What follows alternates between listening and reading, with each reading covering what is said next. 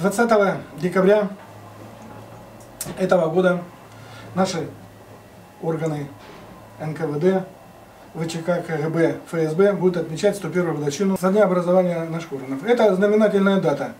Поздравляем всех ветеранов пограничных войск, пограничной службы, органов государственной безопасности со 101 годовщиной. Желаем здоровья, конечно, крепкого, ну и семейного счастья и благополучия.